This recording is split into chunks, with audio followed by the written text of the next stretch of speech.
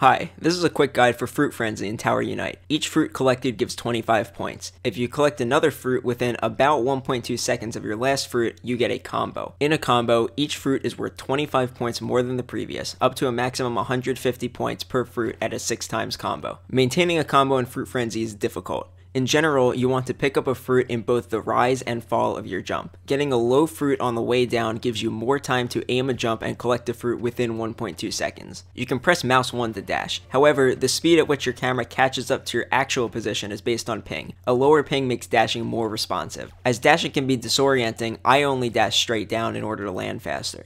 Look for a way to use dashing that is comfortable for you. I recommend playing in third person as it both increases your visible area and decreases camera movement. Keep in mind that maintaining a combo is more important than the number of fruit collected. A single fruit in a combo can be worth 6 fruit outside of a combo.